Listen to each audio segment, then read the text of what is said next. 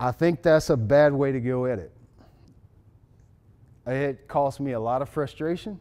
It cost me a lot of money, a lot of bad tournaments. But now that I know, I like, since God, since you told me, you showed me the light, I'm going to tell everybody about it because there, there is a better way to do it, especially for you younger guys. It's a little different for us that are older. Um, or if you just want to go out and just have fun, it's a little bit different process. But if even if it's just one person in here that wants to learn how to, to be a tournament fisherman, I promise you this is this will save you a lot of frustration. We can go to the next slide here. It's really important to be a specialist. People will try to fight you when I say this. When I say you got to be a specialist, you got to be a specialist. No, you got to be versatile. You got to be versatile. You got to be able to. Listen, a lot of times when we think about versatility,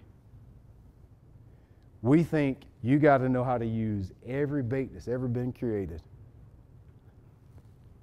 That's not the only way that versatility is packaged.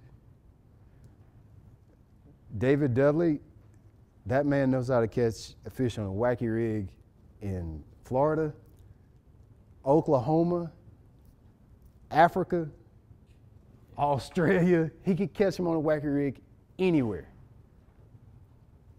Kevin VanDam was caught more fish on a crankbait.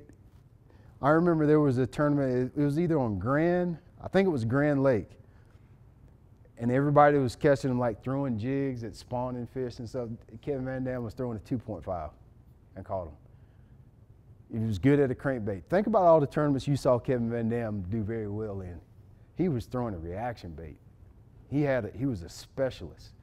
He caught them everywhere he went, but he used a specific tool. Versatility isn't only about knowing how to use every tool in the box.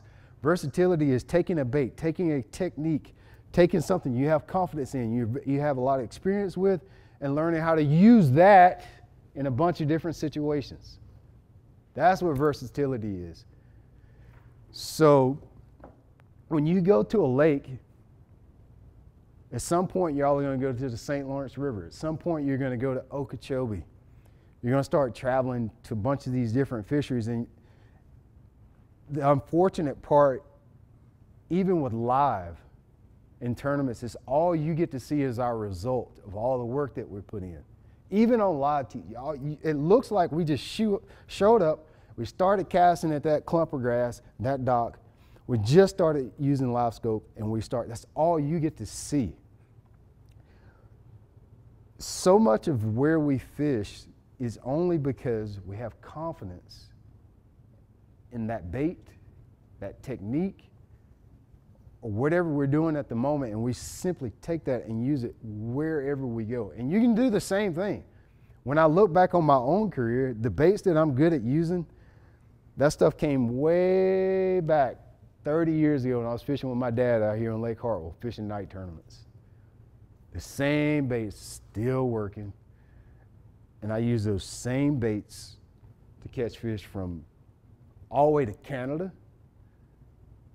to as far south as Texas and Florida. Same baits, same techniques. I might have a better hook and some better line, better rod and reels, but it's, it's the same concept. It's still working today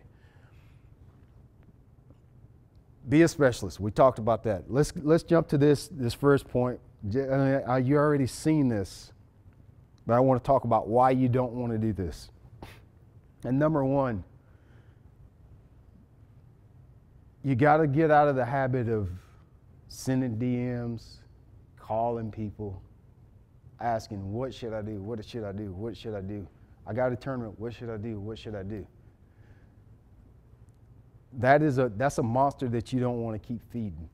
If you don't ever eventually learn how to watch what's going on around you, there, there's there's no dead end road. If you just keep calling people, if you keep just DMing people to get information for your tournaments, when will that stop?